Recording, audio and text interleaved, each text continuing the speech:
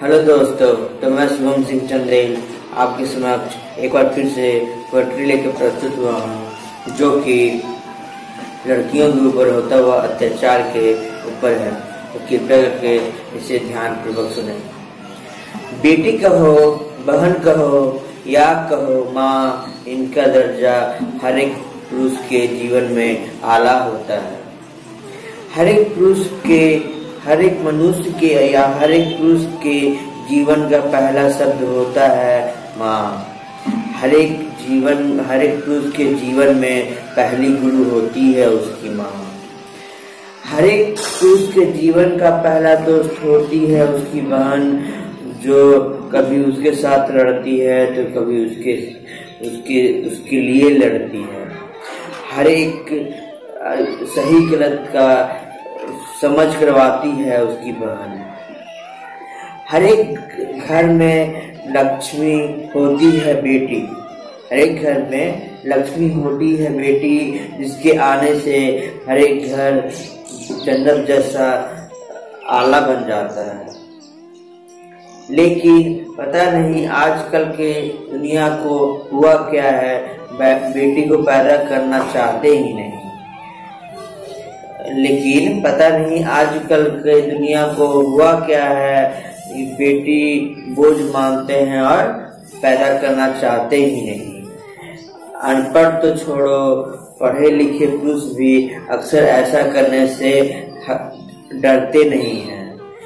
पुरुष तो छोड़ो, स्त्रियाँ भी, पुरुष तो छोड़ो, कुछ स्त्रियाँ भी ऐसा करने से डरती नहीं है।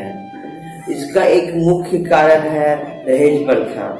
इसका एक मुख्य कारण है दहेज प्रथा। जब तक चलता रहेगा दहेज प्रथा, तब तक बेटियों को बोझ ही माना जाएगा और उसे पैदा करने से अब अभिभावक डरेंगे। केवल दहेज ही, केवल दहेज ही मुख्य कारण नहीं है बेटियाँ ना पैदा करने का। इस इस जग में बढ़ता हुआ दुष्कर्म भी मुख्य कारण है बेटियाँ ना पैदा करने का। बलात्कार, अम्ल हमला या फिर छेड़छाड़ की खबरें तो अक्सर हम अपने आसपास या फिर टीवी पे या फिर अखबारों में तो सुनते ही रहते हैं। गाँव तो छोड़ो, शहर में भी ऐसे दुष्कर्म होते ही रहते हैं। गाँव तो छोड़ो, शहर में भी ऐसे दुष्कर्म होते रहते हैं। ऐसा करने वाले अक्सर छूट जाते हैं। ऐसा करने वाले अक्सर छूट जाते हैं, इसीलिए ऐसा करने वालों का हिम्मत बढ़ जाता है और ये दुष्कर्म चलता ही जाता है। मुझे ये नहीं पता चलता, मुझे ये नहीं पता चलता कि ऐसा करने वालों को अपनी माता और अपने बहन का ख्याल भी नहीं आता है। मुझे ये नहीं पता चलता कि ऐसा करने वालों का अपने माता और बहनों का ख्याल भी नहीं आता है। इसे बंद करने के लिए एक, हम एक, कोई एक नहीं, एक पूरे समाज को खड़ा होना होगा। इसे बंद करने के लिए किसी एक को नहीं, पूरे समाज को खड़ा होना होगा।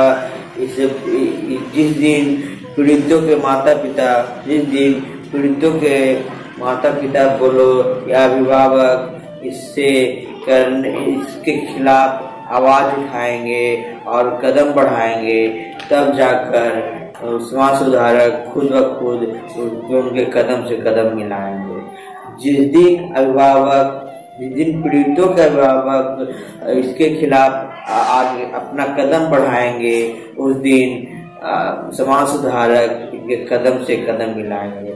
धन्यवाद। और please like and share my video and subscribe on my channel Shubham Singh Jandel and comment on my video तो मिलते हैं नेक्स्ट वीडियो के साथ। Okay bye bye Tata